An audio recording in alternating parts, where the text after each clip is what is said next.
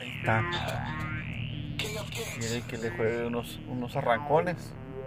Pero dije no, lo voy a dejar en ridículo.